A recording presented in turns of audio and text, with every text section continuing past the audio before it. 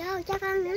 Con xin chào cả nhà nha. Rồi, tối nay anh Dũng bánh ờ, nướng ờ, cá lục kiến ếch với ờ, con cá dày với mấy con cua cho ba siêu quậy nha cả nhà. Chào ông bà cô chú. Chào ông bà cô chú. Đó đây hai siêu quậy của con à. Còn siêu quậy đi đánh cầu lông rồi nha cả nhà. Này chồng con nướng nướng ờ, nướng được mấy con cua cá lục kiến con ếch với con cá dày.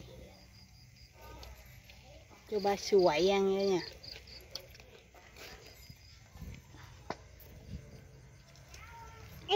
ăn không?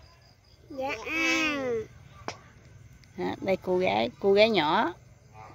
Anh ba. Còn anh hai đi rồi anh hai đi đánh cầu lông một chút anh hai về nha cả nhà Xin chào cả nhà nha cả nhà.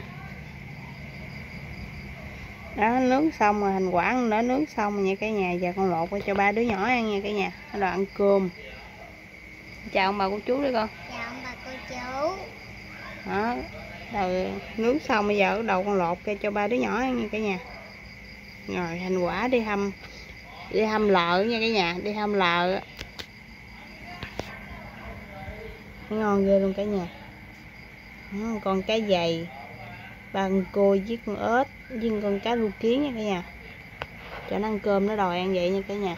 Rồi chào ông bà cô chú đi con. Chào bà cô chú dạ con chào luôn chào cả nhà luôn nha cả nhà.